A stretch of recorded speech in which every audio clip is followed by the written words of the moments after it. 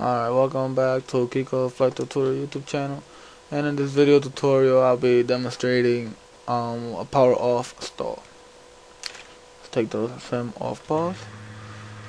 First thing we do, we make sure we above, we are safely above 1500 at, so that when we do the maneuver, we don't go below 1500 feet AGL.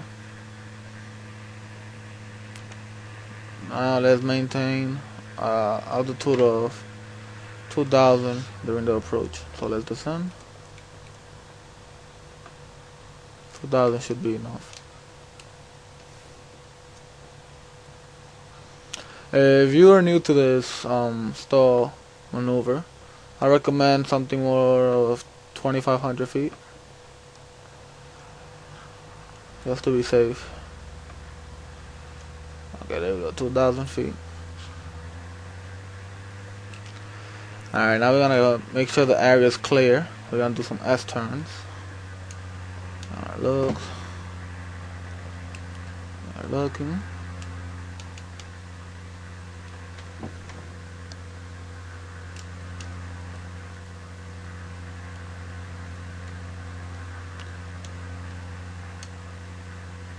Alright, just making sure that there's no traffic around.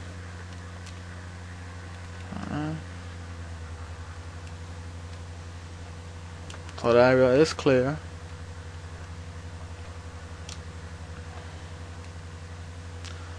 And let me demonstrate the way it goes.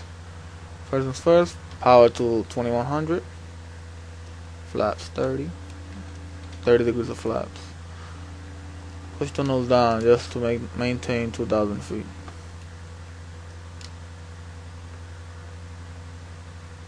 Alright, in 2000 feet, carburetor on.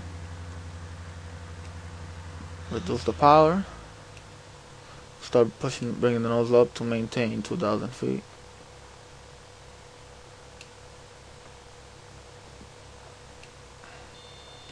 Have the stall warning. Full power flaps 20. Push down, bring the nose up to maintain a positive rate of climb. There you have it. Flaps 10.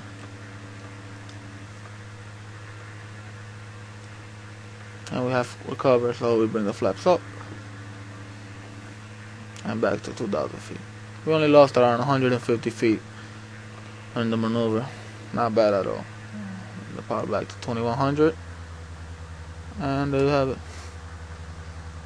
That is a power off stall and Microsoft Flight Sim thank you for watching. Next video is going to be power on stall and probably the one after that will be um, slow flight. Thank you for watching. If you enjoyed this video make sure to comment rate and subscribe if you are interested in future upcoming tutorials and this channel is not only going to be about tutorials in the future I will post like um, an approach with a let's say uh, an airliner or 747 737 or some maneuvers or some approaches with the Cessnas or Beechcraft. I don't know. We'll see in the future as soon as I cover enough so that I that I feel that my viewers are learning. Anyways Peace.